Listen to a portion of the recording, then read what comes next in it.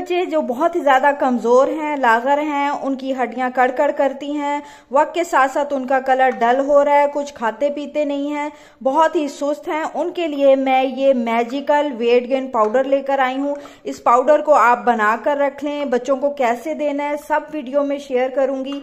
तो चले शुरू करते हैं इस weight gain magical homemade powder को बनाना। अस्सलाम कैसे हैं आप सब? होप सब ठीक ठाक होंगे, खैरियत से होंगे। प्यारे प्यारे बच्चों के लिए मेरी ढेर सारी दुआएँ। आज की वीडियो सागुदाना पर ही। है उसकी वजह यह है कि जब मैंने सागुदाना वाटर की रेसिपी आपके साथ शेयर की, बच्चों को बहुत ज़्यादा फ़ायदा हुआ। बच्चों की हड्डियाँ भी मज़बूत हुई। जो बच्चे गिर कर चलते थे, लागर थे, वीक थे उन्होंने बहुत ज़्यादा वेट गेन किया। तो उस हवाले से मुझे क्वेश्चन बहुत ज़्यादा आप सबके आ रहे हैं कि इस वाटर को हम कितने दिनों के लिए बनाकर सेव कर सकते हैं, कितनी एज के बच्चों को कैसे देना है क्या क्या है। तो मैं आज सारा कुछ इस वीडियो में कवर करने की कोशिश करूँगी। हर चीज़ आपको खोल कर बयान करूँगी तो प्लीज़ आप वीडियो को एंड तक देखिएगा। बहुत ज़्यादा कमेंट मुझे इस टॉपिक पे आ रहे हैं। तो जो मैंने आपसे शेयर की थी रेसिपी सागू वाटर की, जो बच्चों के वेट गेन और हड्डियों की मजबूती के लिए था उसका एक क्विक वे मैं आपको बता रही हूँ। उसको जो महफूज करने का तरीका है, आप बेशक उसको महफूज कर सकती हैं।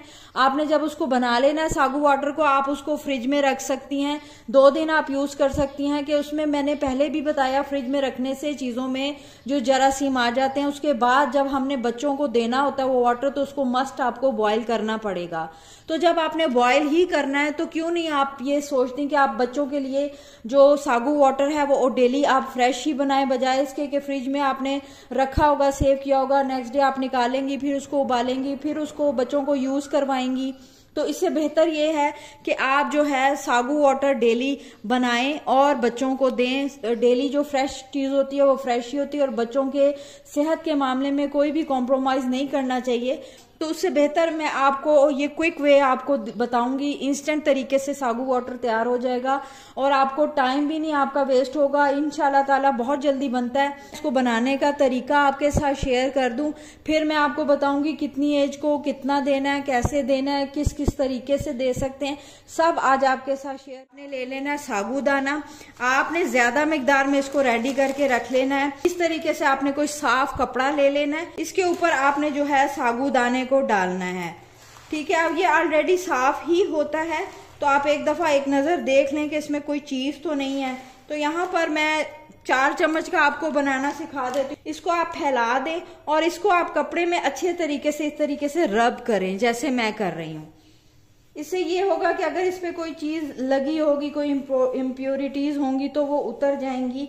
और ये बिल्कुल अच्छे तरीके से साफ़ हो जाएगा, क्योंकि बच्चों का मामला है, आप डायरेक्ट भी डाल सकती हैं, लेकिन मैं यही कहूँगी कि आप एक दफ़ा इसको इस तरीके से साफ़ कपड़े या टिश्यू पेपर में एक दफ़ा एक दफ़ा इसको इस तरीके से साफ़ कर लें। बहुत अच्छे तरीके से यहाँ पर इस तरीके से इसको साफ़ कर लिया अब मैं इसको जो है, एक जो आपका जो ग्राइंडर जार है, उसमें आपने इसको डालना है और इसको आपने कर लेना है ग्राइंड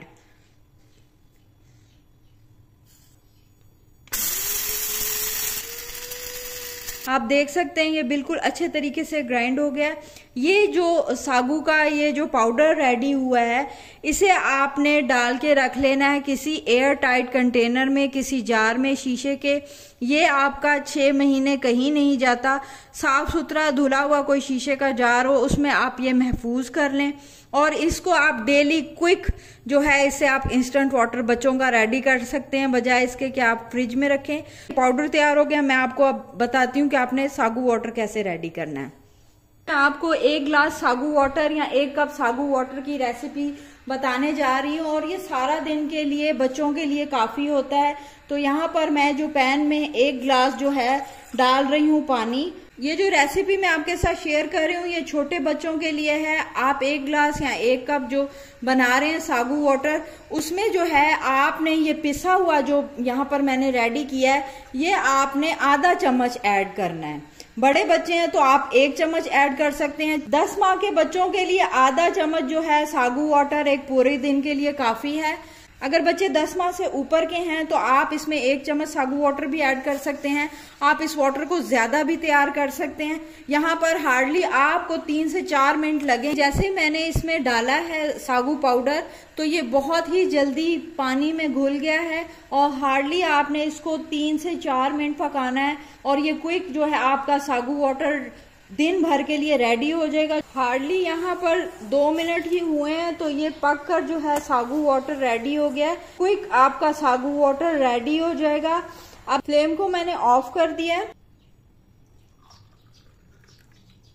इस वाटर को आप ठंडा करने के बाद बच्चे के फीडर में एक आउंस, यानी कि जो छोटा बच्चा है, उसको आप एक आउंस, उस पर निशान लगे होते हैं। अक्सर मुझे क्वेश्चन आ रहे होते हैं, आउंस कितना है? तो उस पर जो सबसे नीचे, सबसे बॉटम में जो पहला निशान होता है, वो एक आउंस कहलाता है। आपने एक आउंस जो है, सागू वाटर ऐड करना है। बाकी जो आपने जितना बच्चा दूध पीता है, उसमें जितनी वो क्वांटिटी लेता है, वो मिल्क ऐड करना है। आप ऐसा भी कर सकते हैं कि एक आउंस आप सागू वाटर डालें। अगर आप फार्मूला दूध बनाती हैं तो उसमें आप जो पानी यूज़ करती हैं, उबला हुआ या मिनरल वाटर जो भी वो डालें। साथ आप पाउडर मिल्क डालें। और बच्चे का जो दूध है वो रेडी कर सकती हैं। अगर खुला दूध वो पीता है तो भी आप सागू वाटर ऐड करें, साथ में खुला दूध डालें और बच्चे को आप दें। बच्चों की हड्डियाँ मज़बूत होंगी, बच्चों के जो अमल है नशो नुमा का वो बहुत अच्छा होगा, बच्चे हेल्दी होते हैं।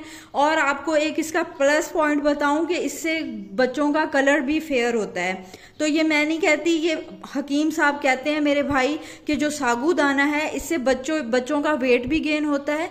बच्चों की हड्डियाँ भी मज़बूत होती हैं। साथ ही साथ जो है, ये बच्चों का कलर फेयर करने के लिए भी बहुत अच्छी चीज़ है। तो जो सागू वाटर है क्विक सागू वाटर डेली आप सुबह रेडी कर लें। ये मैंने जो वाटर रेडी किया है, ये दस माह के बच्चों को इतनी क्वांटिटी आप दे सकते हैं डेली जो बड़े बच्चे हैं, आप उसके लिए एक चम्मच डेली दे सकते हैं। इसके अलावा जो है, जो आप के बच्चे मिल्क शेक वगैरह पीते हैं, जो बड़े बच्चे हैं, साल के, दो साल के, तीन साल के, ये सागू वाटर आपका रेडी हो गया। आप उनके मिल्क शेक बनाते हुए उसमें ऐड कर दें। खजूर का मिल्क शेक है बनाना का एप्पल का उसमें आप ये सागू वाटर ऐड करें। दूध डालें जिस तरह आप बनाती हैं नॉर्मल बनाएँ और बच्चों को मिल्क शेक दें। सागू वाटर की पूरी पूरी जो एनर्जी है तोानाई है, उन्हें मिलेगी। साथ ही साथ, अब वो माए जो बच्चों को सागू वाटर नहीं दे सकती, बच्चे थोड़े बड़े हो गए हैं फीडर नहीं लेते, उनके लिए क्या तरीका है? उनके लिए आपने ये पाउडर इंस्टेंट रेडी कर लिया। चाहे सागू दाना है, चाहे सागू पाउडर है। आपने ये सागू पाउडर रेडी कर लिया। आप बच्चे की कोई भी प्यूरी बना रही हैं। आप बच्चे की खीर बना रही हैं, बच्चे का कोई मिल्क शेक बना रही हैं, बच्चे का दूध बना रही हैं, कोई मीठा हलवा बना रही हैं, कोई पुडिंग बना रही हैं, कोई नमकीन चीज़ ही बना रही हैं, जैसे आलू की एप्पल की, कोई भी प्यूरी आप बना रही हैं। तो उसको जब आप कुक कर रही होंगी, उसमें भी आप सागू पाउडर को ऐड कर सकती हैं। जो बच्चे छः माह से ऊपर के हैं, उनके लिए आप आधा चम्मच जो है सागू पाउडर ऐड कर सकती हैं। उसकी कोई भी प्यूरी आप कुक कर रही हैं, उसमें आप सागू पाउडर को ऐड कर सकती हैं। कोई भी खीर रेडी कर रही हैं, सागू पाउडर को ऐड कर सकती हैं।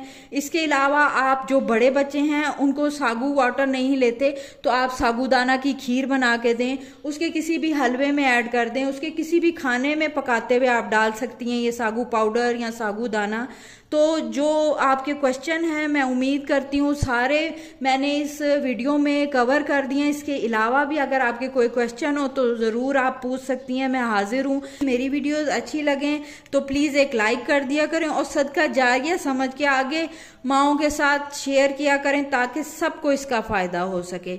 मुझे दे इजाज़त, मिलती हूँ नेक्स्ट वीडियो में। टिल देन अल्लाह हाफिज़।